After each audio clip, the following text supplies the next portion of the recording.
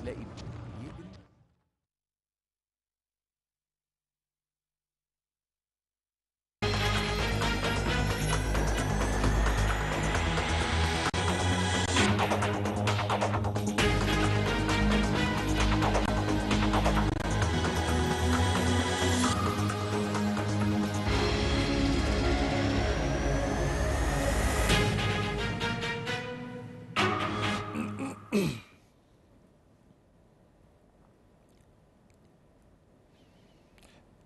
احتدام القتال بين حركة حماس وجيش الاحتلال الإسرائيلي في خان يونس. الأمم المتحدة تصف الوضع في غزة بأنه مستحيل وتدعو لوقف القتال. جيش الاحتلال الإسرائيلي يقصف مواقع لحزب الله بجنوب لبنان.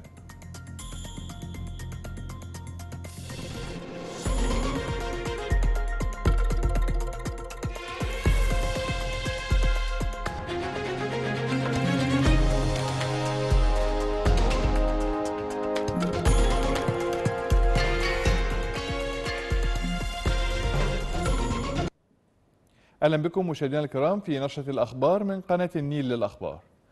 نفذ جيش الاحتلال الإسرائيلي هجمات عنيفة بالطائرات والدبابات على مدينة خان يونس في قطاع غزة ليل الجمعة.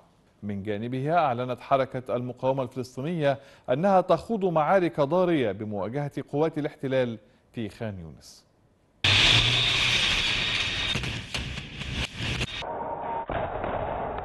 تستمر المعارك الضارية بين جيش الاحتلال والمقاومة التي تتصدى بشراسة لتوغلات الدبابات الإسرائيلية في وسط غزة مؤكدة أن يدها ثابتة وقوية في الميدان لافتة إلى أن الاحتلال لا يعترف بالحجم الحقيقي لخسائره مشددة على أنها هي من تقود الحرب.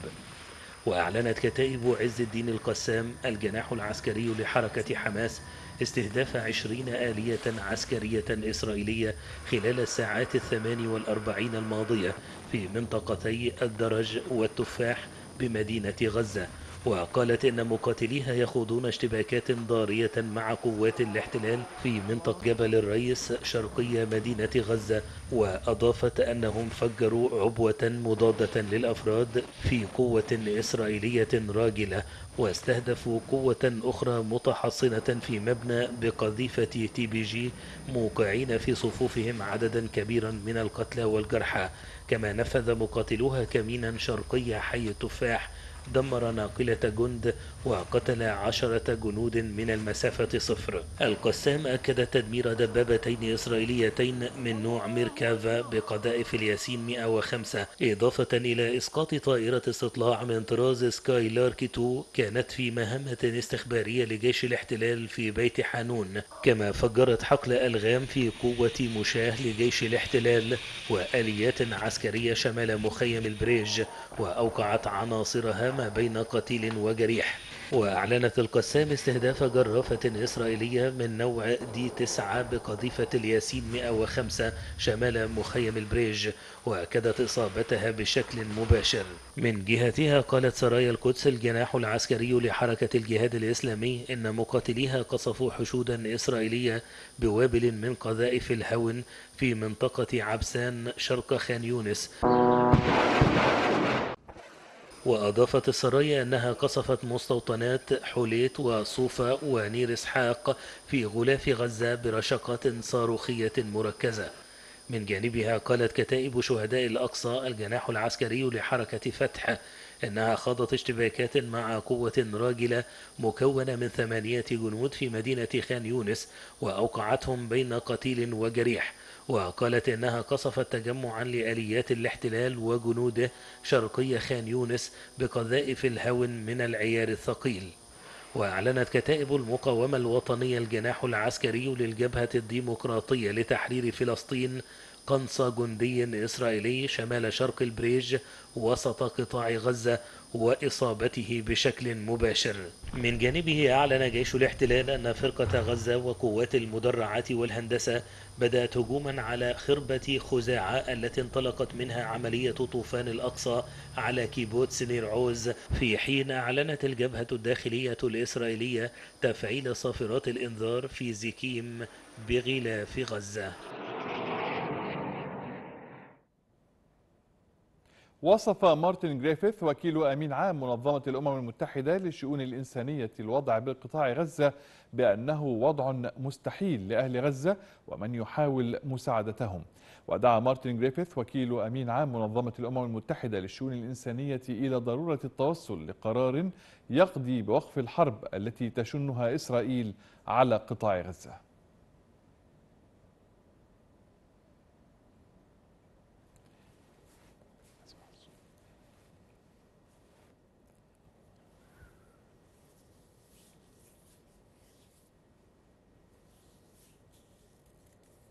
يا داليا. الجو. ملخص اليوم الرابع والثمانين من العدوان الإسرائيلي على القطاع الذي تعتبره إسرائيل مرحلة أساسية من مهمة تدمير حركة المقاومة الإسلامية حماس. بعد 12 أسبوعا من العدوان حولت قوات الاحتلال الإسرائيلية الكثير من قطاع غزة إلى أنقاض ولا مؤشر على خوض وتيرة الهجوم. إذ تنهي إسرائيل العام بهجمات جديدة في وسط وجنوب غزة. الأمر الذي أدى لموجة نزوح جديدة للسكان الذين فروا بالفعل من مناطق أخرى حيث تجمع عشرات الآلاف من النازحين الجدد أسفل خيام من القماش المشمع في وسط القطاع بعد فرارهم من أحدث هجوم تشنه الدبابات الإسرائيلية. ويفر عشرات الآلاف من سكان غزة من البريج والمغازي والنصيرات في وسط القطاع بموجب أوامر إسرائيلية بعد توغل الدبابات من شمال وشرق القطاع. وتوجه معظمهم جنوبا أو غربا إلى مدينة دير البلح المزدحمة بالفعل بالنازحين حيث أقاموا مخيمات مؤقتة مصنوعة من ألواح البلاستيك في أي أرض مفتوحة متاحة تحت برد الشتاء القارس. ويقول السكان إن القوات الإسرائيلية توغلت في البريج بوسط غزة في اليومين الماضيين فيما لا يزال القتال العنيف مستمرا في الضواحي الشرقية وكان القصف عنيفا هناك على وجه الخصوص وفي النصيرات والمغازي المجاورتين. ونزح جميع سكان القطاع تقريبا البالغ عددهم مليونين وثلاثمائة ألف شخص من منازلهم مرة واحدة على الأقل ويفر الكثيرون الآن لثالث أو رابع مرة. وفي الجنوب تقصف القوات الإسرائيلية خان يونس استعدادا لمزيد من التوغل في المدينة الرئيسية بجنوب القطاع التي استولت القوات على مساحات واسعة منها في أوائل ديسمبر. في مهمة وصفتها إسرائيل بأنها لم تنفذ من قبل زاعمة أن القوات تصل إلى مراكز قيادة حماس ومخازن أسلحتها وتعرضت مدينة رفح في أقصى جنوب القطاع. للقصف العنيف في مدينة نيويورك قال السفير ماجد بامية نائب مندوب فلسطين بالأمم المتحدة خلال جلسة لمجلس الأمن الدولي ناقش فيها المواقف بالضفة الغربية المحتلة أن إسرائيل تنفذ خطة ممنهجة تهدف لإبادة الفلسطينيين The killing of Palestinian civilians is not a collateral effect of the war. تعمد جيش الاحتلال الإسرائيلي قتل المدنيين الفلسطينيين بالضفة الغربية لا يمكن أن يكون نتيجة هامشية لتداعيات الحرب على قطاع غزة. إسرائيل تتبنى خطة ممنهجة للإبادة الجماعية للشعب الفلسطيني. الكارثة الإنسانية في قطاع غزة ليست فقط نتيجة مباشرة للعدوان الإسرائيلي على القطاع لكنها أداة يستخدمها الاحتلال للضغط على أبناء الشعب الفلسطيني وتهجيرهم قسريا الاحتلال الإسرائيلي يستخدم أيضا سياسة التجويع للشعب الفلسطيني كأداة من أدوات الحرب and medical personnel. من جانبه قال فاسيلي نيبتزيا مندوب روسيا بالأمم المتحدة إنه يجب العمل من أجل التوصل لتسوية سلمية عادلة للصراع الفلسطيني الإسرائيلي حتى by- الآن للأسف لم نرى الأفق السياسي الذي يتحدث عنه الكثيرون ولكن من المهم العمل الآن على استعادة الأفق السياسي فيما يتعلق بعملية التسوية الفلسطينية الإسرائيلية على أساس القانون الدولي المعترف به بشكل عام والذي ينص على إنشاء دولة فلسطينية مستقلة داخل حدود عام 1967 وعاصمتها القدس الشرقية تتعايش في سلام وأمن مع إسرائيل لن يكون هناك سوى مثل هذا النهج المتوازن وغير المتحيز والقائم على القانون الدولي 7th of October in the West Bank. هي استجابة ورد فعل لا أكثر على جرائم الاحتلال في غزة والضفة أيضا استشهد شاب فلسطيني متأثرا بإصابته برصاص جيش الاحتلال الإسرائيلي قرب موقع عسكري عند مفرق مخيم الفوار جنوب مدينة الخليل في الضفة الغربية المحتلة. وزارة الصحة الفلسطينية قالت إن الشاب عمرو عبد الفتاح أبو حسين استشهد شرق مدينة دورة جيش الاحتلال أطلق النار على الشاب داخل مركبته وتركه ينزف دون تقديم العلاج. بزعم أن الشاب حاول دهس عدد من الجنود في المنطقة. كان جيش الاحتلال قال إن أربعة أشخاص أصيبوا بجروح في هجوم دهس نفذه فلسطيني مشيرا إلى أن عناصر الجيش في المنطقة شلوا حركة المهاجم. وتشهد الضفة الغربية المحتلة تصاعدا في وتيرة أعمال العنف منذ اندلاع الحرب بين إسرائيل وحركة المقاومة الإسلامية حماس في قطاع غزة في السابع من أكتوبر. منذ ذلك الحين استشهد أكثر من 315 فلسطينيا بنيران جيش الاحتلال أو مستوطنين إسرائيليين في مدن وبلدات الضفة لترتفع الحصيلة الإجمالية للشهداء الفلسطينيين في الضفة منذ مطلع العام الجاري إلى أكثر من 520 شخصا بحسب إحصاءات وزارة الصحة. قوات الاحتلال اعتقلت أيضا عشرة فلسطينيين على الأقل من مناطق متفرقة بالضفة. كما اقتحمت قوات الاحتلال حي سطح مرحبا في مدينة البيرة ما أدى لاندلاع مواجهات مع الشبان دون أن يبلغ عن إصابات أو اعتقالات. هذه هي الليلة الثانية على التوالي التي تقتحم فيها قوات الاحتلال مدينة البيرة الملاصقة لرام الله. في مدينة تل أبيب قال دانيال هاجاري المتحدث باسم جيش إسرائيل إنه تم توجيه ضربات مكثفة أثرت على وجود حزب الله بجنوب لبنان באמצעות מטוסי קרב, טנקים וארטילריה של מטרות חיזבאללה.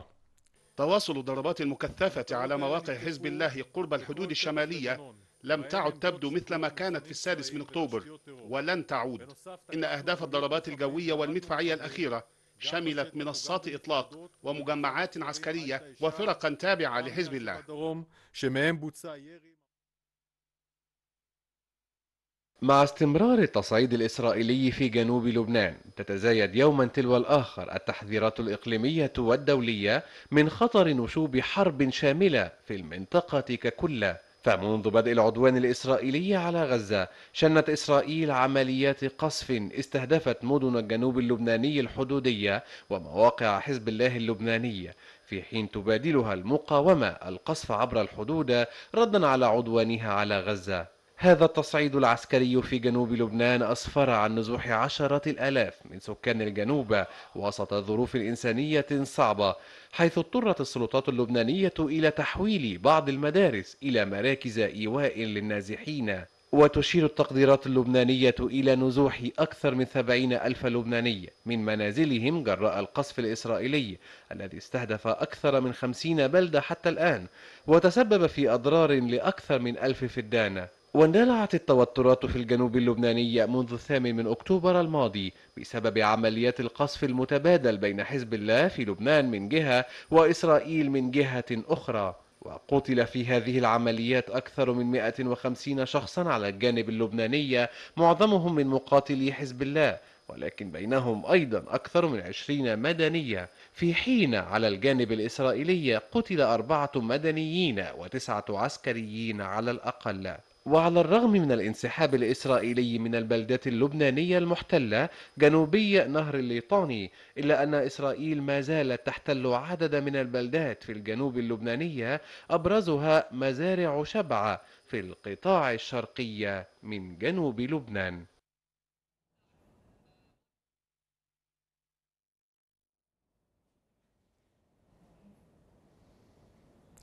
انطلق ماراثون زايد الخيري في نسخته الثامنة بساحة الشعب بالعاصمة الإدارية الجديدة.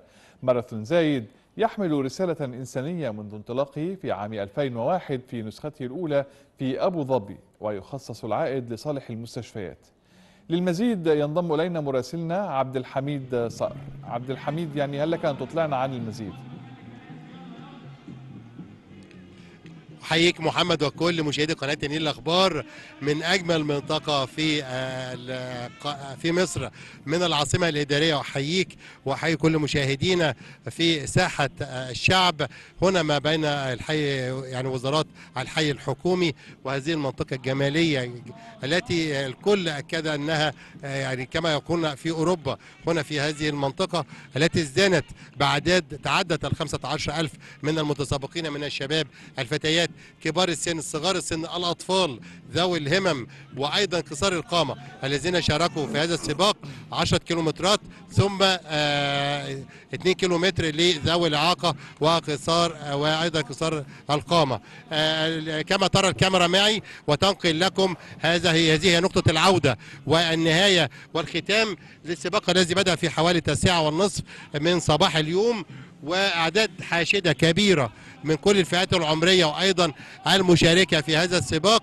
الجانب الإماراتي والمنظم يعني أكد على أن هذه النسخة هي أكبر نسخة في النسخة الثمانية التي جاءت على أرض مصر. ست نسخ تم تنظيمها من قبل وهذه هي النسخة الثامنة التي تنطلق اليوم من بين يعني وزارات الحي الحكومي في العاصمة الإدارية جديدة. جولة الذهاب كانت ما بين هذه الوزارات بعضها البعض وتنقل صورة جمالية تؤكد مدى جاهزية العاصمة الإدارية لاستقبال الجميع وأيضا فتح أبوابها للمصريين وغير المصريين للوصول للتمتعوا بهذه هذه هذه المنطقة الجميلة العمرانية الجميلة التي تم بنائها وأيضا تشييدها في وقت قياسي. الكل يؤكد على الرسالة الإنسانية التي يحملها هذا الماراثون ماراثون زايد الذي تحول من ماراثون خيري إلى ماراثون رياضي دولي بموجب النسخ الثمانية التي أقيمت على أرض مصر العائد الخيري كما سبق وذكرت زميلي محمد نعم. سيعود بالنفع العام على مستشفيات العاملة في المجال الإنساني والخدمات الطبية هي مستشفى يعني مستشفيات لعلاج الأمراض السرطانية وأيضا القلب وأيضا الحروق هذه المستشفيات يعود كل العائد تجاهها. نعم. المكافآت وأيضا الجوائز رفعت إلى 10 ملايين جنيه هذا العام ستوزع على 5000 من المتسابقين بالإضافة إلى 100 رحلة عمرة. باقي العائد سيضخ إلى المستشفيات. إليك محمد. أشكرك شكرا جزيلا عبد الحميد صقر مراسل قناة النيل للأخبار. كنت معنا من العاصمة الإدارية الجديدة. وفي ختام نشاطنا مشاهدينا الكرام هذه تذكرة بأبرز العناوين. احتدام القتال بين حركة حماس وجيش الاحتلال الإسرائيلي في خان يونس. الأمم المتحدة تصف الوضع في غزة بأنه مستحيل وتدعو لوقف القتال. جيش الاحتلال الإسرائيلي يقصف مواقع لحزب الله بجنوب لبنان.